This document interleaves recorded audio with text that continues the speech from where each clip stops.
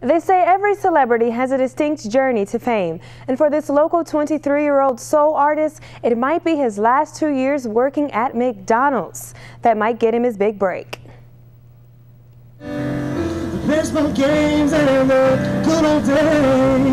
You're listening to the soulful tunes of Mark Hager. Many know him locally for his Sunday singing at the Church of the Nazarene, but the college student now has put his choir boy talents to use and has become one of 22 semifinalists for the Voice of McDonald's contest.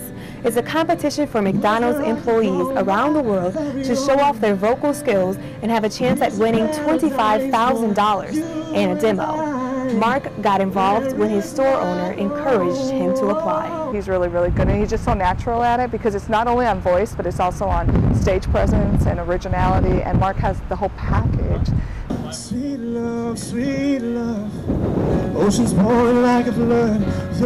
That's the song Mark wrote and submitted back in August to win his semifinalist title, beating out applicants from about 500 stores in the heartland. It's been kind of surreal. It's been kind of, it's been a lot of neat things happening. And, um, and then I had the opportunity to go to Chicago about a month ago and uh, record the music video that's actually on the, the McDonald's website right now. Now what's ironic about Mark is that after all of his recent success, he says that being a professional singer isn't even on his radar. I have a couple ideas. I'm not really entirely sure exactly what I want to do. Um, I've, I've contemplated maybe you know, going to ATSU here in town, the medical school, or I've you know, thought about getting my MBA. So. But what about his music career? He says he's been singing since he was six and playing the piano for the past 11 years.